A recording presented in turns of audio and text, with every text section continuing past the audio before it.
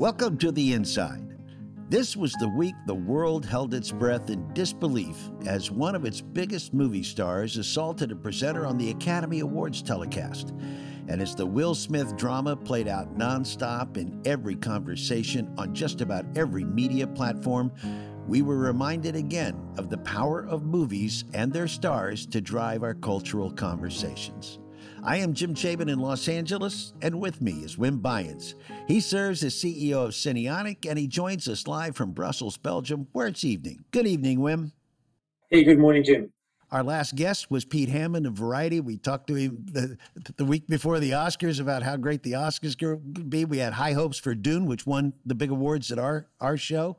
And then the slap heard around the world. Uh, did you see it? And was it as big a conversation topic where you are as it was here? It was, it was. And I think it was over all social media, I have to say, right? And so everybody has uh, right away had an opinion ready, right? And then, but it, no, it was, it was definitely the talk of the town here um, and, it was on all social media. So it, it's a reminder, I think, of how famous uh, a movie star really is, and so everyone seemed to want to talk about it. So it's it's it's remarkable. Uh, there's an interview this week in uh, the Wrap with Bob Iger. He told Chris Wallace of CNN this week that he doesn't think people are going to go back to the movies quite in the way they did before, and that work needs to be done to get people back into cinemas. He said, when you consider what you have to do to go to a theater, which is drive there or commute there in some form and pay a transportation, parking, get through the lobby, sit in a large room with a lot of people. There's friction there. It's it's and for some people, it's not going to be worth it. So his point was we need to do a better job of making that experience seamless. That's kind of one of your major thoughts and topics, uh, and I want to talk to our, our guest today about that. But upshot of it is people want to get people back in cinemas and and uh, we're looking at ways to make it easier for for fans to get back right Absolutely. No, I, I, don't think I can say it better. Right? I think we have the perfect guest here with us here on the show today. John C. Hall has a 30 year career in the entertainment business. After starting as a manager at AMC Theaters, John joined Universal Pictures in Hollywood. He worked in exhibitor relations, in theater marketing, and finally as EVP of distribution and marketing. Since 2020, he has served as a partner and producer with Cardinal Trio Pictures in Los Angeles. Welcome, John Hall. Thank you. Thank you for having me. Very excited to be on the podcast. Great to have you here, and thanks for your time. Let me let me kick it off with the first question here. Give me your perspective about the, the content boom we see today and how you're experiencing that today. It's definitely a renaissance of content and and it, it makes me excited because there's definitely room for all this content in the marketplace but I've always been a fan of the theatrical experience, as you just sort of laid out in my in my bio. I actually started in television, but I've been a, a movie fan my entire life, and most of my career, you know, 99% of my career has been in the movie business. So I welcome the content boom. I think there's different types of content that live on different types of platforms, and theatrical has its place as as it always has uh, for over 100 years. And I'm excited. I, I, welcome the content, I welcome the competition, and I think that movies will endure well into the future. So, John, you have overseen getting fans to movies or getting exciting of movies to particular films, right? In your opinion, what does it take to prepare for a release? And what is the goal of the marketeer uh, when he's selling the tickets? Any strategy you have of gathering the audiences? The first thing I, I always thought about at the studio and my team did and worked closely with the marketing and distribution teams on, on this particular thing it's it's av or you know audio visual or the trailer. Sometimes it, the first debut of any movie is um, content that ends up on on television if there's like a big marketable thing that happens like the super bowl oftentimes that'll be kind of the debut of the AV content, but there's really nothing that replaces that visual and audio combined that is that is movie making. And so when you put together a world-class trailer and you debut that on a dark screen in front of a big big tentpole movie 6 months to a year ahead of its release, there's just something that you cannot measure. Uh, I mean, we we do research. The studio side does tons of research, and they've actually found that AV is what sells the movie. Majority of the decisions to go to that movie are are based on watching that piece of content, and then all the content that comes out in marketing after that is usually a reduction of that two and two two and a half minute trailer. If you go too much less than that, unless you're doing a teaser, um, you don't show enough to, to interest the audience. And if you show more than that, you, you get that backlash of they showed the entire movie in the trailer, and you know nobody nobody wants that. Are you saying that it is the trailer played in a movie in a cinema? Yes, that, that is the most, as yeah, opposed to just buying effective. TV. Yeah, like when you can, you can buy television and and through some of the large conglomerate partnerships, you know, um, most of the major studios have a network or access to a network, and they can run a full two minute trailer on that medium. Uh, it just doesn't have the same impact. And you know, it, it's better, I think, to debut something theatrically, especially when you're dealing with like a like genre you know just easy to easy to go to Disney because Marvel has been you know Marvel has been a big part of resurrecting you know the box office in the last decade or more and they they why would they not you know why would they not trailer their next big movie on that movie it's just the perfect audience it's a captive audience you know it's 100% a movie going audience when you show something on television whether it's through a partnership or whether it's paid media there's no guarantees that that's a 100% target audience. In fact, it's definitely not. Uh, it might be less than 50% of a target audience. So AV is important. The second part of that question, and, and this this is something you work equal parts with the marketing folks and even the distribution side, is is conversion. Like I always dealt with conversion. Whatever it is that you can do to convert a general public person or a general moviegoer into a specific moviegoer purchasing that ticket for the intended title, that's conversion. Mostly that takes place on digital because at, at, that point in the process, you assume these moviegoers have seen, you know, multiple pieces of AV. In fact, on most big $100 million marketing spends, the average, I think, is like that person's been exposed to that content three times uh, or more. So when I'm making my purchase decision, and you can do that, you know, on any of the ticketing sites, you know, Fandango, movie tickets, any of the exhibitor sites, AMC, Regal, Cinemark, when you make that ticketing purchase decision, that's the conversion. And so the follow up to what my team did, my business unit did in concert with others was make sure that they're buying a ticket to our movie. So here's a question for both of you. When your team build the projection and the sound and all the experiences once you're in that cinema hall, and John, you're you're creating the content that goes on the screen. What about the lobby? The lobby of most cinemas, you know, that concept has probably not changed a lot in the last hundred years. And I think Iger, Bob Iger, was saying in this interview that he did was there are a, a, series of things that you have to do to get into a cinema in order to get into that seat that you're talking about that's comfortable. John, you did in theater marketing, one of your hats at Universal. What what do you think needs to happen in a in a cinema lobby? When I was running in theater marketing uh, a few years ago, I looked at the in you know like business at large, you know any any kind of walk-in business, which a theater is, and it's you know you're at a place, you're at a destination that a large amount of consumers come to and pass by on a on a daily basis. And in the movie theater business, it's usually kind of concentrated on the weekends, and so you need to grab that consumer's attention whenever they're there and hook them for the next time that they're there or give them a reason for there to be a next time to come. What i saw happening before i left and it, it was it was a slow roll because I, I, remember the first time i saw a, a digital marketing display was probably in 99 definitely in 2000 um, don't even know if those companies are still around but kind of the first people that pioneered digital marketing assets um, a lot of them were signage companies that were already in the concession space. So theater, you know, theater circuits and, and theaters were familiar with them already. And they found that seeing video, surprise, surprise to all the social digital folks out there, video, you know, it's like a 200% increase in people paying attention to it over static. So, you know, when I when I started in this business, one sheets or posters and standees or the cardboard cutouts. Those were my static displays, you know, banners, modifications on all those things. And I tried to get those in a, as many theaters as possible. But they were expensive to create, they were expensive to make, they were expensive to physically distribute and set up. Not so much the one sheets, but all the other stuff. And so I welcomed kind of the dawn of the digital lobby.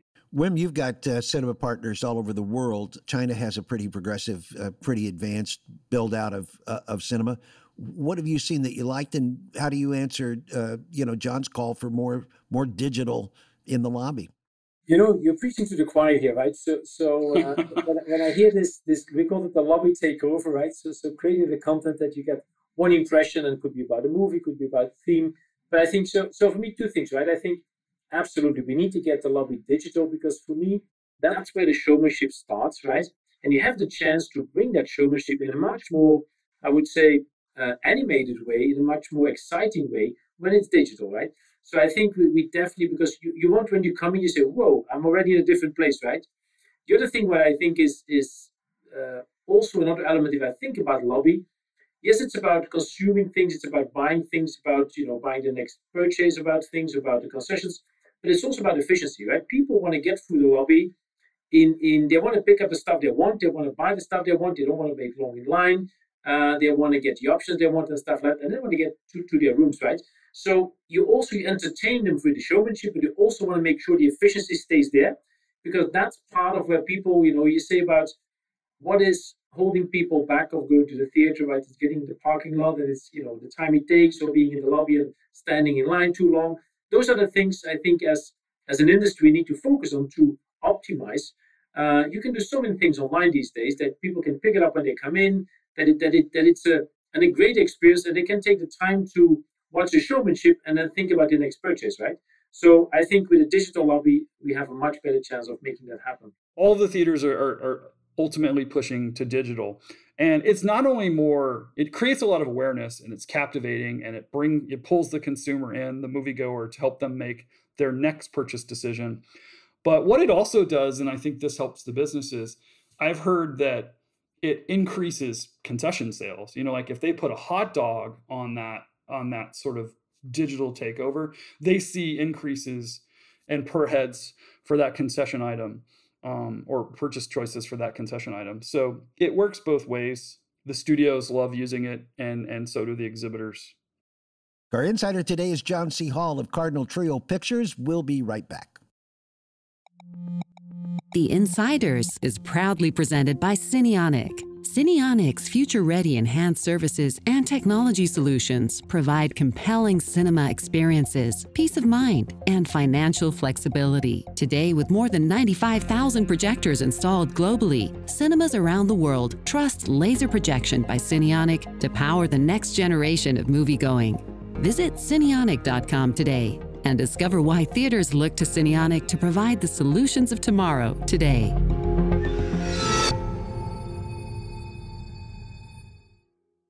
Our guest insider is John C. Hall. He joins us from Los Angeles.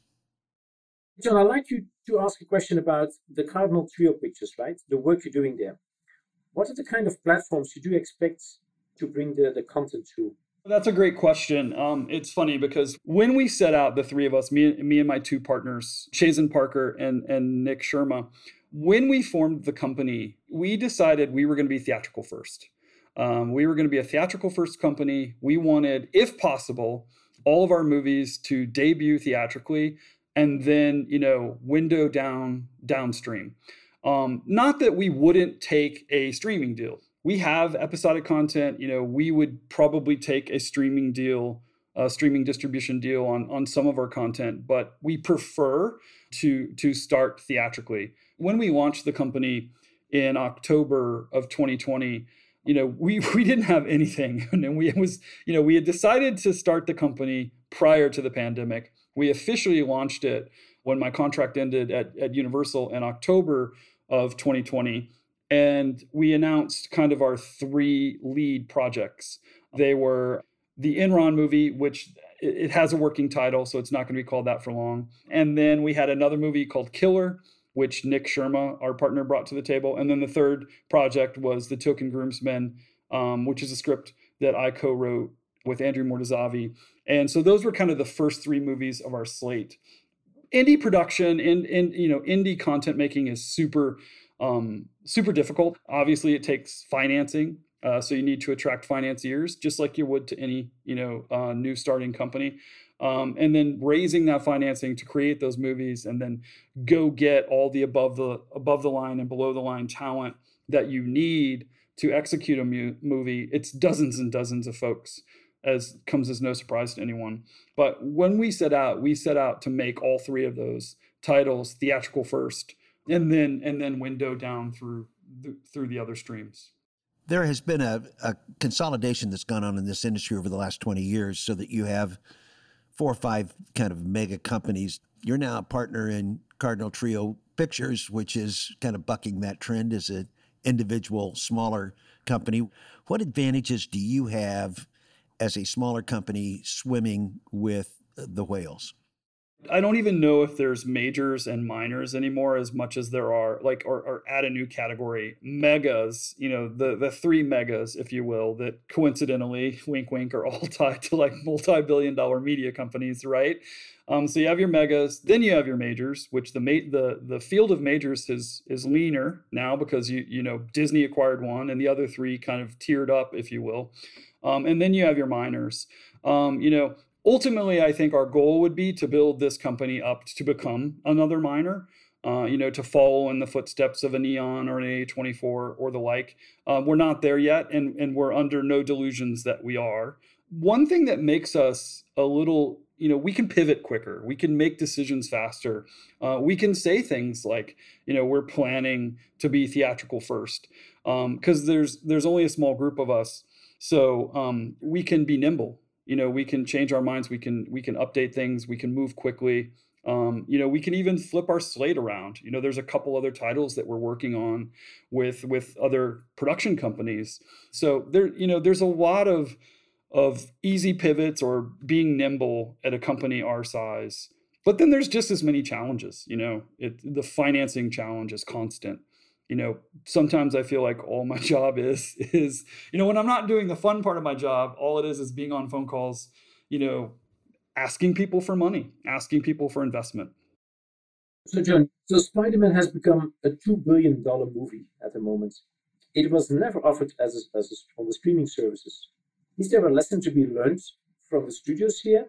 What can we learn from this of this fantastic success I think what the marketplace is finding is that there's kind of this sweet spot. You know, it, it, it was never the the 60 days and out or 90 days and out that exhibition had kind of stuck to, or that you know the industry had kind of adopted. You know, really since like VHS, I guess, or, or, or you know, in the late era of VHS.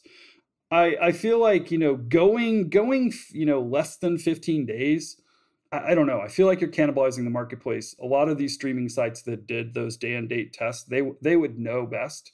But you do see, you know, it's hard to uh, it's hard to know because the pandemic was was afoot. But like you see these decreases and grosses of movies that you would have thought otherwise to do better on on some of the studios that have streaming services. How many weekends do you think you need? Uh, one of our guests, I think it was Chris Aronson at Paramount, said, you know, you need three weekends, three yeah. good weekends. Is that your sense as a as a filmmaker? I was gonna say that prior to you mentioning Chris, and and since Chris said it, I, I fully adopt that. That you know, those three weekends are when you get, I think it's over seventy five percent, maybe over eighty percent of the the initial theatrical run obviously movies some movies play out longer than that and and leg out in theaters back before the pandemic i worked on a, a movie green book that that started as a platform it, it expanded it hit its maximum number of screens and then legged out for a long time got nominated for awards across the board won some of those awards and then continued to leg out so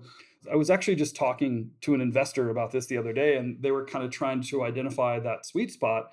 And it was like once you move past that three weekends, you know, you can have a movie that legs out and exhibition typically gets more, you know, more of the gross revenue out of that because the deals kind of pivot a little bit. But then you're then you're worrying about you know the next movie coming in and you know screen size, uh, screen auditorium size rather, seating size has shrunk. You know, I think it's you know like it's not uncommon to be in a 100 150 200 seat auditorium and if you're if you're programming a movie and you're in its fourth week and you're selling less seats i feel like you would rather that movie just keep going down the life cycle of of, of film and then you re you know you reprogram that screen with a brand new movie um, there's certainly enough content we just talked about that uh, and as we emerge from COVID, you're going to see people start to. You've already seen it this week alone. There's been a lot of movies that have that have jumped on the release schedule. Um, so you're going to continue to see that as we emerge from COVID. I think this year's box office is going to be very close to pre-pandemic norms. So let's talk about the rest of this year. Wim, your partners have actually been shown some some of Avatar, and you have uh, indicated that People are generally excited. The word is that we may see Avatar trailers beginning in May. Uh, and that gets to your point, John, about you know starting your campaign early on, so we may start seeing them in theaters. How do you feel about Avatar? And, and Wim, let's start with what you're hearing. I think everybody's very excited about Avatar, right? I think it, it's been a record winner before box office wise, and of course, everybody knows that James Cameron he can pull things out of his head, right? So he's going to do great. But the footage people have seen, you know, they, they all come back and said, wow, right, kind of thing. So this really brings people back to the theater. You know, people say, you know, this is really uh, going to bring 3D back in a different light, kind of thing, because really made for 3D movie going. So, so I think the things, uh, and of course, is also with you know playing with the frame rates and all that stuff. So trying to do use different, you know, elements of the technology to see how we can make that that movie even more uh, impactful. So I think everybody's looking forward, and I think it is at the year end. We still have some time to grind, uh, grind up to that one, uh, but it, the the excitement is is big. I've not heard anybody uh, anybody saying that that is not excited of that movie at that, that moment in time. John, you've been involved in Minions, which is an amazing franchise. Uh, are you looking forward to that?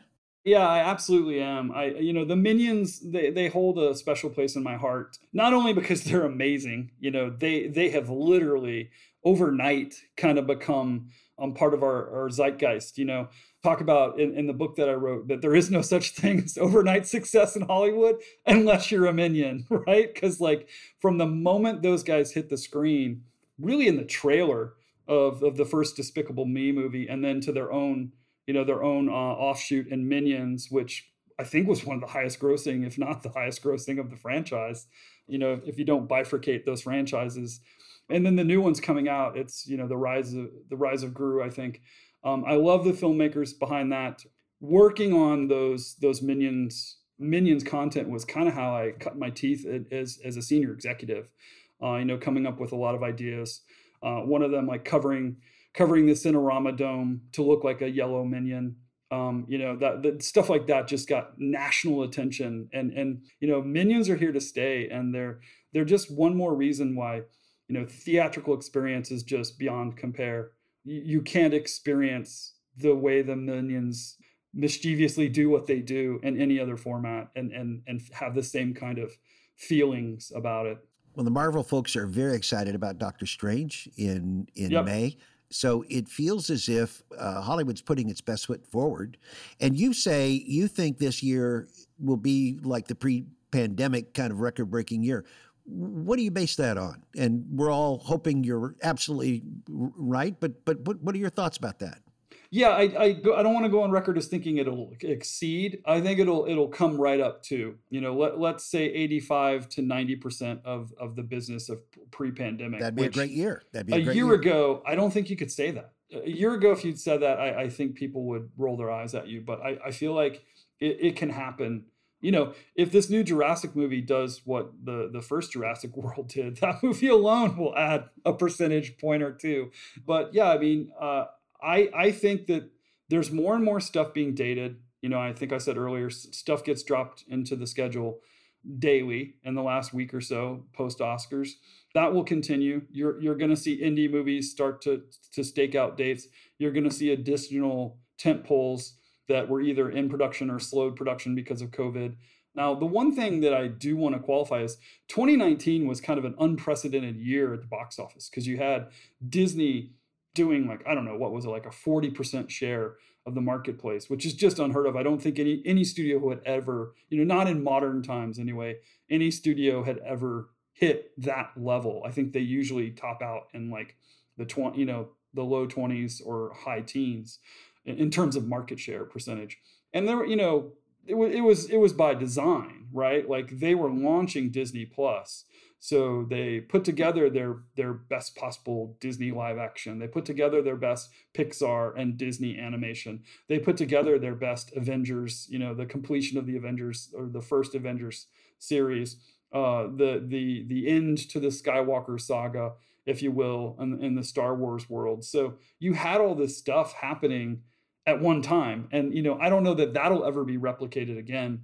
And they did all that to to launch their streaming service. So by the way they launched their streaming service on the back of a bunch of theatrical titles. So if that doesn't say it all i you know i'll, I'll shut up. Well a lot of the analysts are saying the reason pixar is a disney plus mainstay and their movies are going to disney plus and not theatrical is because it keeps the the subscribers happy. It's the strongest internal brand on Disney Plus to keep families happy.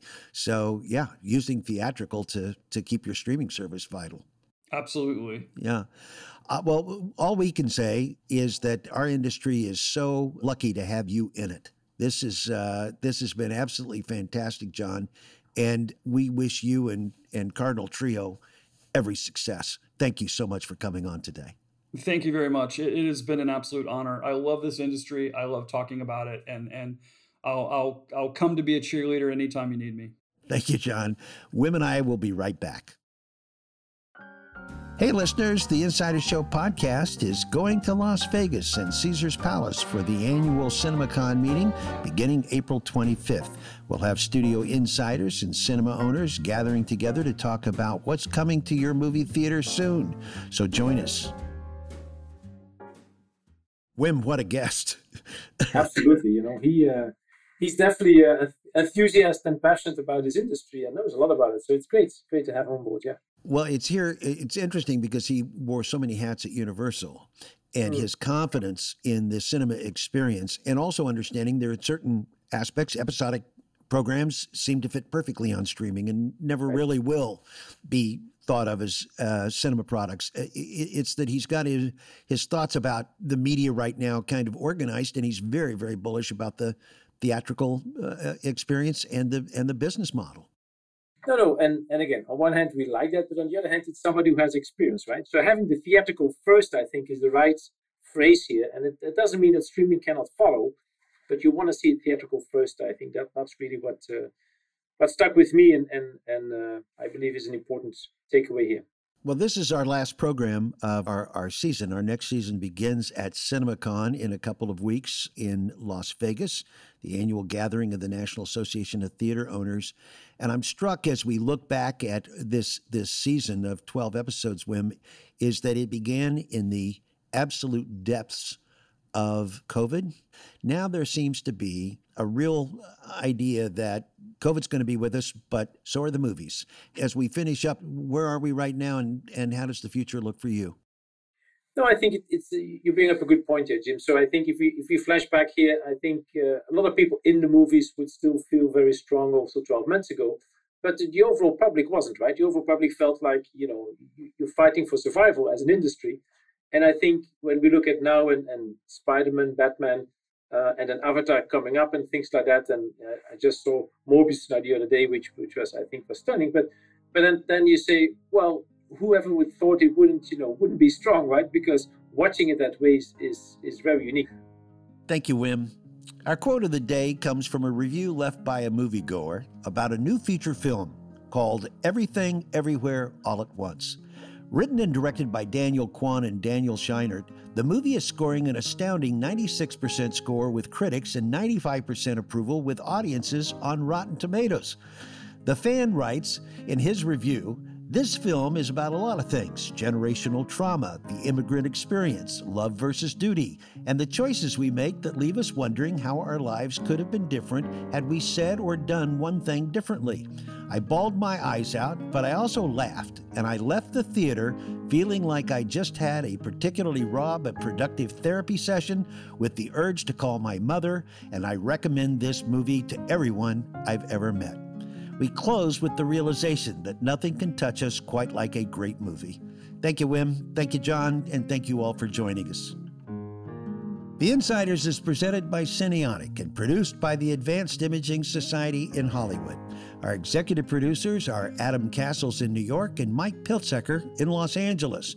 Brett Harrison produced today's show, and our technical director is Matthew Bach Lombardo. This is AIS.